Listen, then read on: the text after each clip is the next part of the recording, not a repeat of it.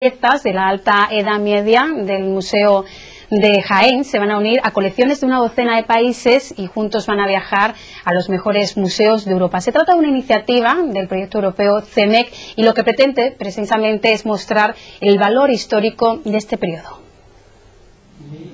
Con algunas de estas piezas que aquí se exponen y otras más de una docena de países, Europa quiere esclarecer un periodo oscuro de la historia. Pertenecen a una etapa de cambio de gran vitalidad creativa que quieren recuperar y divulgar museos, universidades y grandes instituciones europeas especializadas en la Edad Media. La Alta Edad Media es un periodo que se ha considerado siempre muy oscuro y se ha considerado que realmente pues, cada país o cada territorio estaba aislado, que no había conexión y demás. Entonces los promotores, fundamentalmente el, Museo de Ámsterdam, Holanda y otros cuantos del norte de Europa, decidieron justamente coger ese periodo que parecía el más oscuro, el más difícil de representar siempre en los museos para demostrar que eso no era así. El Museo de Jaén, gracias a la mediación del Instituto de Arqueología Ibérica, participa de esta manera en un proyecto cultural a gran escala. Consigue, según sus promotores, la interrelación con otros grandes museos y su proyección. Es una proyección del Museo de Jaén a nivel europeo como un museo que tiene una riqueza de piezas que, bueno, resulta muy difícil a veces explicar a, Europa, ¿no? Hasta 2019 la colección que resulte de este proyecto se expondrá en museos de Ámsterdam, Atenas y Bonn.